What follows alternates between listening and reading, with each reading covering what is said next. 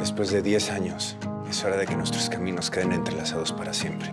Y que juntos dejemos un legado.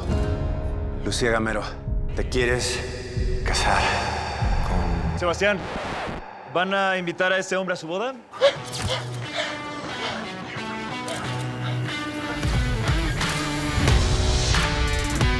Por favor, entiende que lo que pasó es un milagro. Ser soltero hoy está chingón. ¿Y tú cómo estás, güey? Nunca me había sentido así. ¿Qué voy a hacer?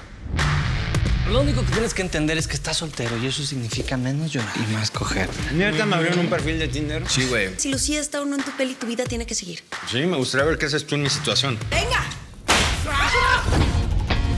Tienes que salir, Sebas, y olvidarte de Lucía. Lo único importante, no hables de tu ex. De preferencia, no elijas mujeres solas. Esas tienen demasiada seguridad. Tú mantente sin mostrar debilidad. Hace contacto visual. Nos gusta que nos domine. Aprovechen los tríos. Usa condón, güey. No digas nada. ¿Qué tal que nos pasa lo mismo que a Sebastián y a Lucía? Gente como nosotros no se le apaga la flama. Eh, güey, yo no quería lastimarlo así. Me siento fatal. Pero entonces seguían juntos por... Solo ojalá no vaya a ser alguna tontería.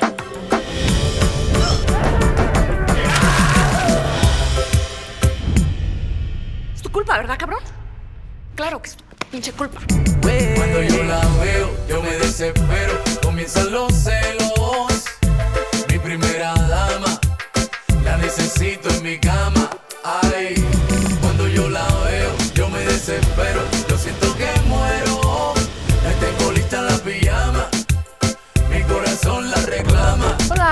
Sebas. Déjame explicarte, ¿sí? ¿Sebas? Sebas. Neta. Sebas. No mames. Mi corazón.